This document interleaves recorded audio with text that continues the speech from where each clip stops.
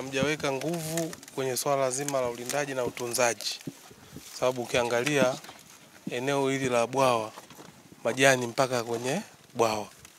Nadhani watu wa bonde wa Miruvu pamoja na watu wa Morowasa mshirikiane kuhakikisha bwawa hili mazingira yanakuwa sawa kabisa. Hauwezi ukaruhusu majani mpaka simeona kule, na leo tunakwenda nakuta watu wanakatakata. Nafikiri mtimize majukumu yenu na mtimize wajibu wenu kuhakikisha kwamba hili bwawa, hii ndio roho ya wana Morogoro.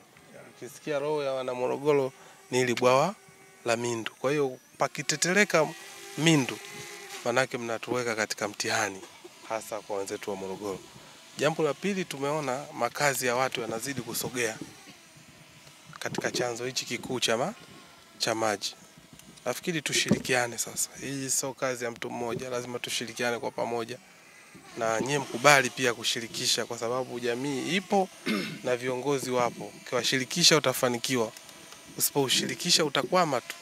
Kama hujakwama leo utakwama kesho au kesho kutwa, lakini kukwama kupo pale pale pale. Nafikiri ni muda wa mwafaka kwa wale ambao tulishafanya tathmini wakapisha maeneo, na sisi wizara tuone haja sasa ya kuhakikisha kila anayestahili kulipwa alipwe haki yake, na hilo sisi tutalizingatia. Kwa hiyo acha tubebe hili la, la fidia, lazima tupambane nalo. Hatuwezi kuruhusu mwisho wa siku watu wataingia na hichi ndio chanzo tunachokitegemea, athari zake zinajulikana.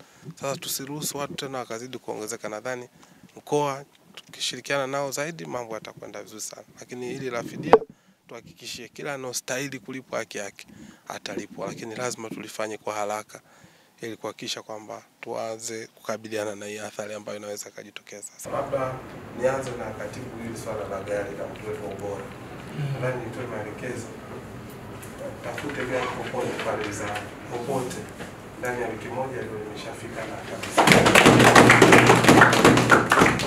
Kwa sababu tunapozungumzia swala la maji, mtu apate maji safi lakini salama, ndio pia yenye ubora.